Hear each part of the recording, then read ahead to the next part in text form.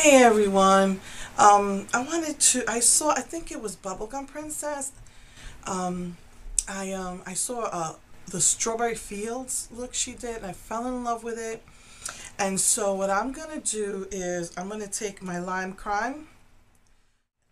Um, so I'm gonna take my lime crime and I'm going to try and rec- recreate the look. First color I'm going to use pink poodle. Put that on the lid.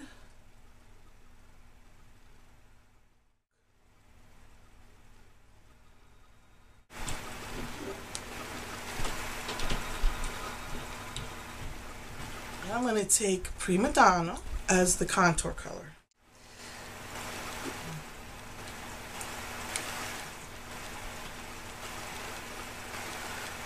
Yeah, so you just get a little bit of a contour color in there.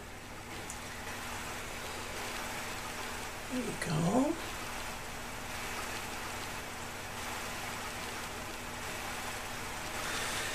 And um, as a highlight color, so as a highlight, I'm using a pink prism from the um, Lumiere Minerals.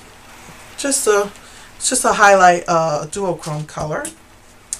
And underneath, I'm going to use my Covet from Urban Decay.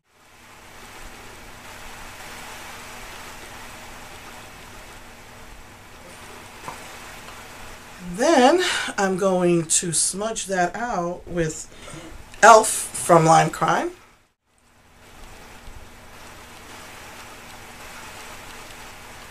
Just smudge out that look. And um, I am going to finish my makeup and and be right back. Hey, so I'm done. What I did was I took the Prima Donna, which is like a dark pink, and I put gloss on my lips, and I took a lip brush and kept dipping it on and putting it on my lip, and then I put gloss on top.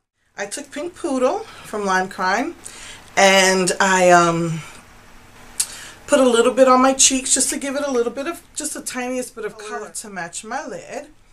So I put green Urban Decay's Covet on top of my, uh, you know, on the, as a liner on top.